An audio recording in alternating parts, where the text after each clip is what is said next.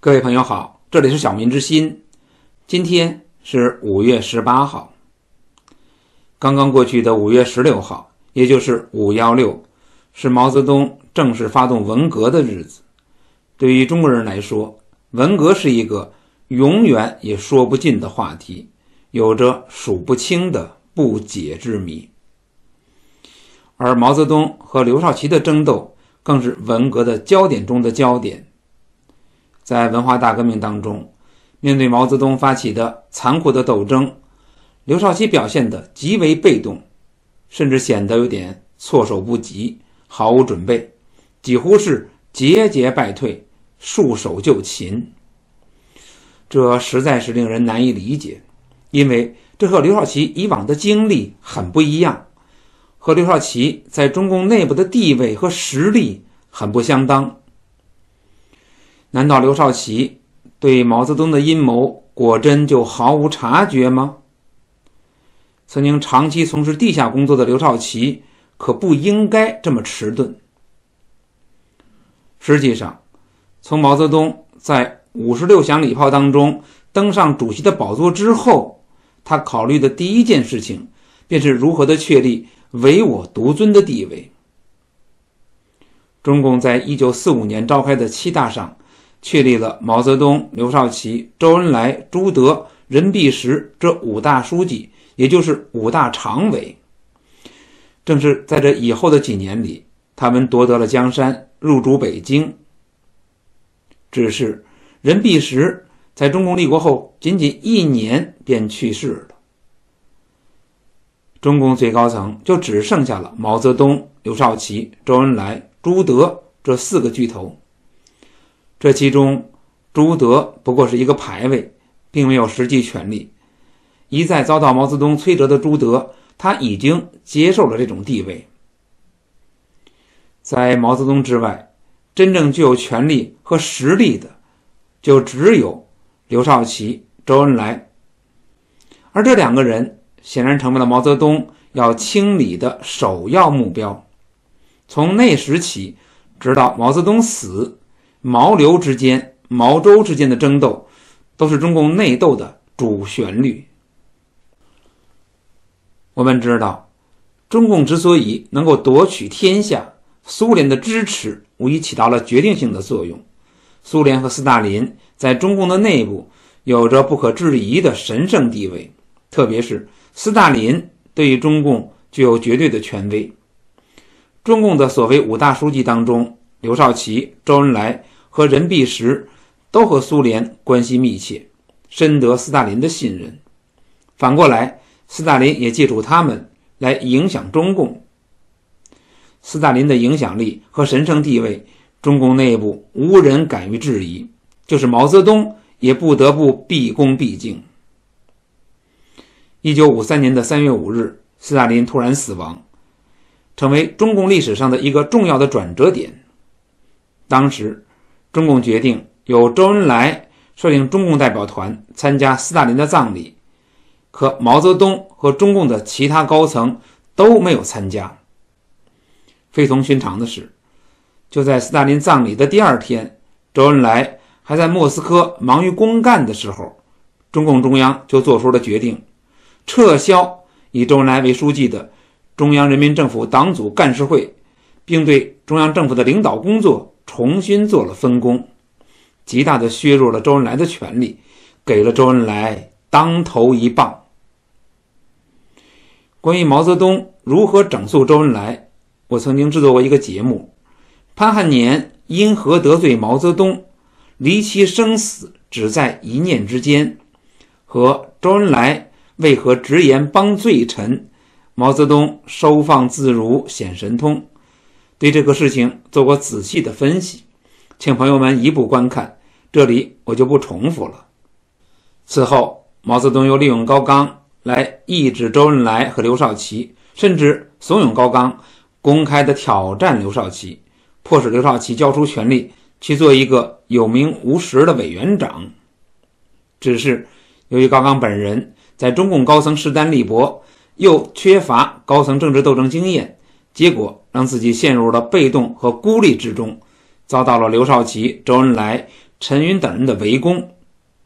尤其让高岗没想到的是，毛泽东居然也对他做了一番严厉的指责，最终导致高岗愤而自杀。这是中共立国后第一次高层权力斗争，在这场斗争当中，刘少奇获得了暂时的胜利。在中共的党史上，这次党内斗争被称作“高岗饶漱石事件”，也就是在高饶事件落幕后没几天。毛泽东又以潘汉年案和胡风案为由头，针对周恩来发起了一番攻击。虽然没有能够动摇周恩来在中共高层的地位，但是着实让周恩来领教了毛泽东的厉害。从此以后，周恩来有了非常强烈的自我保护的意识，格外的讨好毛泽东，察言观色，投其所好。毛泽东想说的话，他来说。毛泽东想做的事，他来做；而刘少奇则不然，似乎是一直都感觉良好。很有可能，高岗事件的结果让刘少奇对自己的地位和实力做了过高的估计，同时对毛泽东多了一点轻视。此后，毛泽东在很多事情上表现出了对刘少奇的不信任，只是。刘少奇可能对此并没有引起足够的重视和警惕。其中，从两个重要人物的不同际遇就可以看出毛泽东对刘少奇的态度。其中一个是刘少奇非常欣赏的人，接连不断的遭到了贬损；另一个刘少奇非常反感的人却飞黄腾达，加官进爵。那个刘少奇十分欣赏的人，就是中共的。第三野战军的代司令员粟裕，那个刘少奇非常反感的人，就是后来的上海市委书记柯庆施。先说粟裕，粟裕在红军时期，在抗战期间都表现得很一般，地位一直不高，直到很晚，还只是新四军的一个师长。那是在皖南事变之后，毛泽东派刘少奇重建新四军。在那段时间，粟裕逐渐的引起了刘少奇的注意。刘少奇回到延安之后，特地的向毛泽东谈起了粟裕的军事才能。在国共内战爆发之后，粟裕接连指挥部队打了一些胜仗，特别是粟裕指挥部队打败了国军的五大主力之首的整编七十四师，一战成名。这就是电影《红日》讲述过的那场战役。这场战役让毛泽东对粟裕开始刮目相看。后来，毛泽东要求粟裕率领他的主力部队离开根据地，渡过长江，开辟江南战场，以策应深入大别山的刘邓的部队。毛泽东做出这样的部署，实际上是基于他对战争事态的判断。当时，毛泽东认为可能还需要三到四年的时间。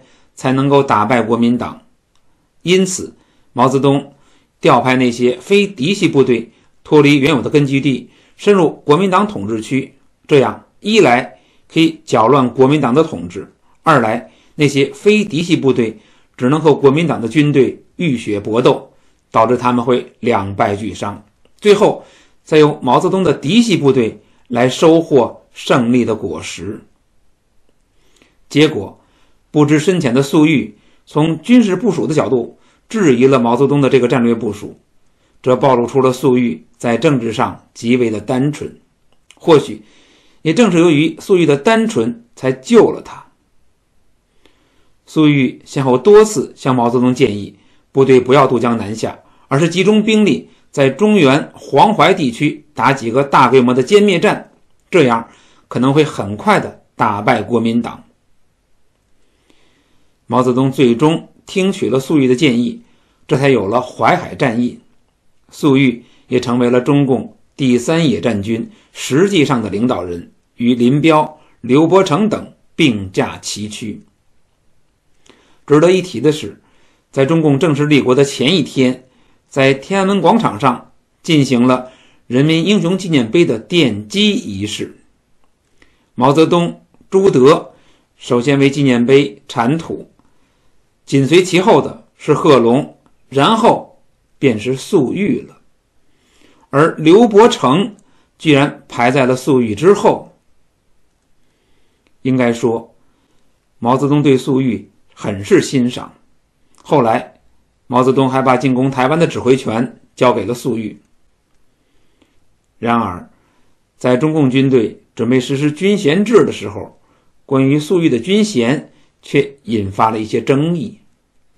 按照粟裕的战功，他完全有资格成为中共军队的元帅，进入军队的最核心层。而且，作为中共的副主席，刘少奇也一再的提名粟裕为元帅。但是在关键时刻，周恩来却坚持应该授予陈毅元帅军衔。论资历，粟裕当然不能和陈毅相提并论。陈毅确实有资格成为中共的元帅，但是当时陈毅已经确定担任中共政府的副总理兼外交部长。按照当时的规定，凡是已经在政府任职的，都不再授予军衔。据此。刘少奇对陈毅授元帅一事提出异议。如果陈毅不受元帅军衔，那么南方的红军游击队、新四军以及第三野战军必然要以一位其他的代表授衔元帅，粟裕将成为当然的人选。然而，因为周恩来的坚持，刘少奇的异议没有被通过。其实，毛泽东本人。对粟裕并无恶感，甚至还是很欣赏粟裕。毛泽东也曾经公开表示过，粟裕应该是元帅。相反，毛泽东可并不喜欢陈毅。当年陈毅在江西曾经取代毛泽东担任过红四军的前委书记，毛泽东对此事一直耿耿于怀。这个情况，周恩来当然非常清楚。可以说。在陈毅获得元帅军衔的事情上，周恩来的表现非常的特殊。如果不是清楚的知道毛泽东的心思，周恩来不可能在这些最敏感的问题上如此的坚持己见。此外，周恩来和粟裕的渊源也很深。早在南昌暴动的时候，周恩来就认识了粟裕。那时，粟裕是周恩来的警卫班长。周恩来这样选择，不是在支持陈毅，而是在支持毛泽东。军队可是毛泽东的禁脔，毛泽东在极力的防止刘少奇控制军队。值得一提的是，当时在中共刚刚制定的宪法上明文规定，由国家主席兼国防委员会的主席统一指挥国家的武装力量。然而，毛泽东为了确保他自己牢牢的控制军权，就在中共军队准备实施军衔制的同时，毛泽东正式的在中共的内部成立了中共中央军事委员会，架空了宪法赋予国家主席及国防委员会主席指挥军队的权利。在新成立的中央军委中，毛泽东自己担任了军委主席，却将刘少奇、周恩来。彻底的排除在军委之外，这显然是有意的阻止他们，特别是阻止刘少奇染指军队。关于毛泽东如何施展阴谋打击刘少奇，我曾经制作过一个系列的节目《毛泽东如何收拾刘少奇》，对此做过详实的分析解说，请朋友们一步观看。可以说，恰恰是刘少奇。对粟裕的欣赏，才导致了粟裕无法成为中共的元帅。这是一九五五年，中共的军队第一次实施军衔制。就在这一年的年初，中共正式开除了已经自杀了的高岗的党籍，这标志着毛泽东在和刘少奇的第一轮交手当中败下阵来。这次平定军衔，正是在毛泽东。刘少奇首次争斗的大背景下进行的，它的结果必然会受到毛刘争斗的影响。而仅仅在三年之后，粟裕便遭到了批斗，成为中共军方第一批被整肃的高级将领，不仅被解除了总参谋长的职务，还将他的错误口头传达到军队系统的团一级和地方系统的地委一级，也就是要彻底的摧毁粟裕在军队内部的威信，把他的名声搞臭，让他无法再继续带兵。可以肯定，没有毛泽东的授意，没有人能够这样处置粟裕，这就是毛泽东希望的结果。作为刘少奇最为欣赏的军事将领，也是刘少奇大力栽培的军方人物，粟裕不仅没有能够成为元帅，只能屈居大将，而且还最先受到整肃，在军队中被彻底的边缘化。即使是当年出面打击粟裕的彭德怀被打倒之后，粟裕也没有能够重新掌握军权。对于自己最为欣赏的军队将领，粟裕竟然落得这样一个下场，刘少奇不应该毫无意识。而那个刘少奇极为不屑的人物柯庆施的命运却截然相反。柯庆施是安徽歙县人，早年曾经深受陈独秀的影响。一九二二年一月，二十岁的柯庆施与张国焘等前往莫斯科参加共产国际召开的大会。受到了列宁的接见，并同列宁握过手。柯庆施是中共内部的不多的几个见过列宁的人，在普遍迷信苏联的中共内部，这让他身价倍增，连极端自负的王明都对柯庆施另眼相看。后来，柯庆施成为了中共的重要干部，先后担任过中共的中央秘书长。和河北省委的前委书记、组织部长等职务。然而，在延安整风期间，柯庆施竟然被打成了特务，遭到了残酷的迫害。他的妻子投井自杀。当时负责整风的便是刘少奇。这件事情导致柯庆施和刘少奇之间产生了很大的过节。这个情况。毛泽东应该非常的清楚。中共立国前后，柯庆施成为了石家庄市的市长，后来他调任南京市委书记，此后开始青云直上，先后任江苏省委第一书记、上海市委第一书记、中共中央上海局书记、华东局书记和中共的政治局委员。一九六四年出任国务院副总理。这样的晋升速度，在当时可谓是绝无仅有。当然，柯庆施也确实是一个干才。值得一提的是，那些年，毛泽东一直对柯庆施轻言有加，在很多场合称赞柯庆施，甚至当众称这位比他年轻六七岁的人为“柯老”，这无疑。是在提升柯庆施在中共内部的威信。在高岗失败之后，毛泽东实际上是在有意的培养柯庆施来对付刘少奇。后来，柯庆施被发现患有肺癌，极善于揣度毛泽东心思的周恩来专程到上海了解柯庆施的病情，并亲自参加了柯庆施的手术前的会诊。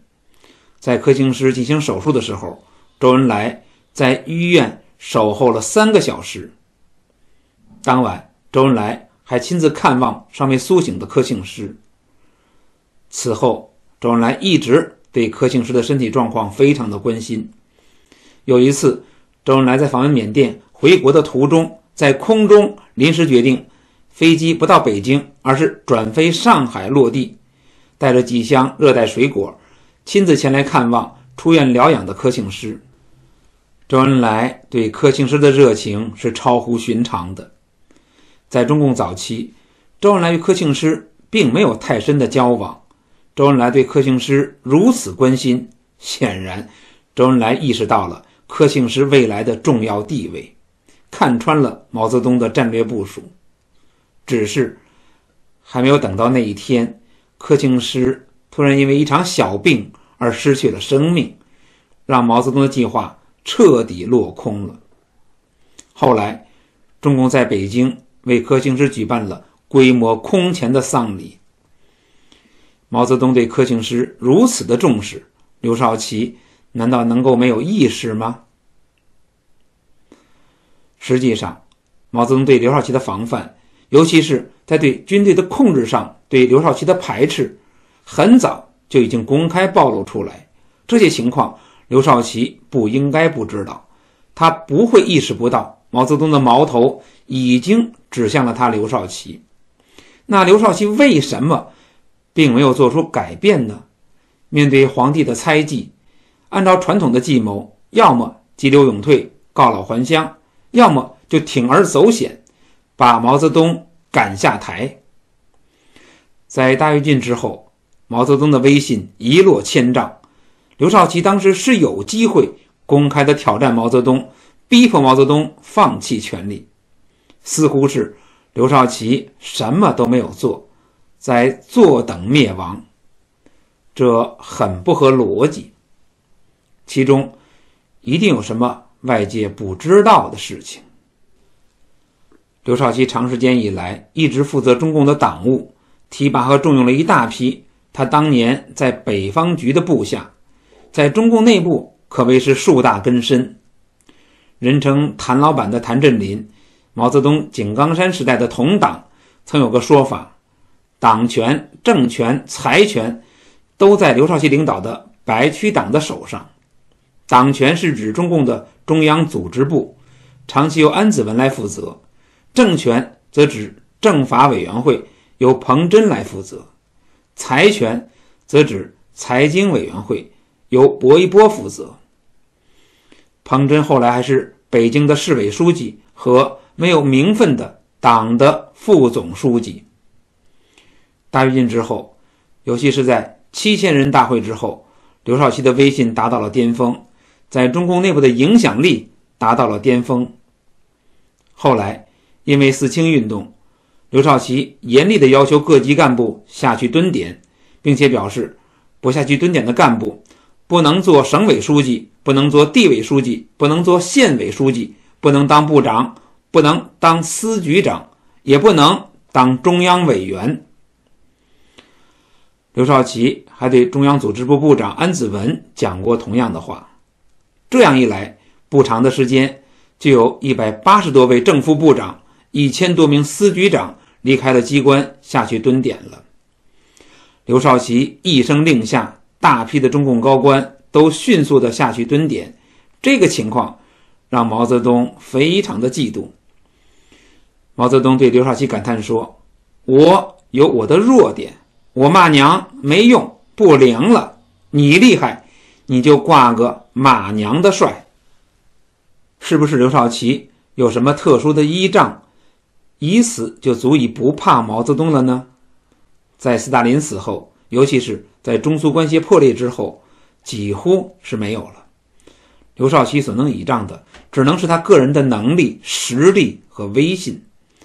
前面我们提到，刘少奇确实具有相当强的能力和实力，但是这。只是一方面，另一方面，在和毛泽东长期的接触当中，恐怕在刘少奇的内心里，对毛泽东有一种来自骨子里的蔑视。虽然刘少奇曾经大力的吹捧过毛泽东，他只是认为那是形式的需要而已。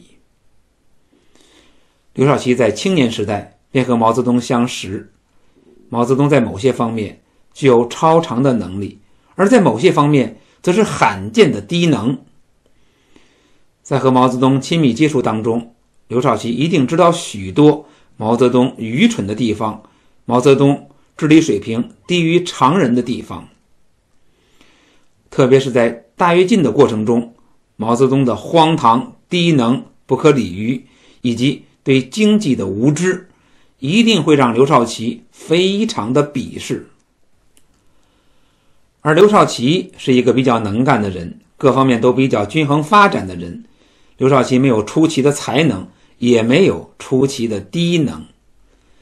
这一点可能让刘少奇从内心里并不畏惧毛泽东，而毛泽东的某些低级下流的阴谋，某些上不得台面的卑劣手段，反而可能强化了刘少奇对毛泽东的蔑视，强化了他的自我欣赏。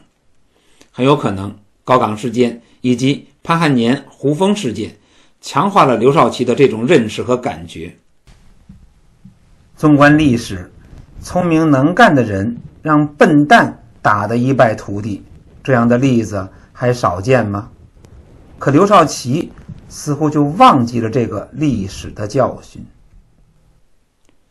其实，在文革正式爆发之前，在毛泽东公开发出打倒刘少奇的信号之前，毛泽东就已经采取了很多的步骤和措施，早就暴露出了他的企图。显然，刘少奇还是低估了毛泽东的邪恶，低估了毛泽东玩弄阴谋手段的毫无底线。当刘少奇意识到危险来临的时候，当他意识到毛泽东凭着那些最龌龊、最下流的手段也能把他打倒的时候，已经为时过晚了。关键的是，刘少奇并没有做出足够的准备。特别是在思想上，在组织上都没有做好和毛泽东摊牌的准备，再加上周恩来在文革中再次成为了毛泽东的帮凶，成为打倒刘少奇集团的最重要的一个推手，让刘少奇完全陷入了绝境之中。事实上，在大跃进之后，刘少奇犯了一个极为严重的错误，那就是他只处理了几个。积极追随毛泽东搞大跃进、饿死众多百姓的地方大员，而没有抓住这一历史契机，坚决破除毛泽东一贯正确的神话，没有就毛泽东大跃进的错误采取组织措施清算毛泽东，反而和周恩来等人一起继续强化对毛泽东的个人崇拜，强化所谓的阶级斗争的气氛。刘少奇。可能对自己的实力太过自信了，对自己的地位太过自信了。他或许以为毛泽东只是一个牌位而已，吹捧毛泽东只不过是愚弄百姓。中共的高级干部并不会受到影响，他自己的权力和地位不会受到影响。刘少奇没有想到，最后毛泽东就是利用了个人崇拜的力量，轻而易举的。甩开了中共严密的组织体系，在军队的支持下发动了一场政变。刘少奇没有想到，最后毛泽东就是利用了阶级斗争的意识形态，发动了文化大革命，把刘少奇和一大批干部打成了叛徒特务，彻底打垮了刘少奇和他倚重的组织体系。刘少奇明显的高估了组织力量。而低估了意识形态的力量，低估了个人崇拜的危害，因而付出了极为惨重的代价。好，关于这个话题，今天就说到这里。小民之心，谢谢各位，再见。